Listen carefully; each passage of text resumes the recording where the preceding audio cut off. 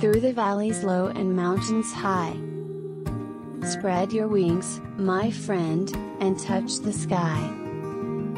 In the dance of life, find your own groove, every prayer heard, in the universe, move.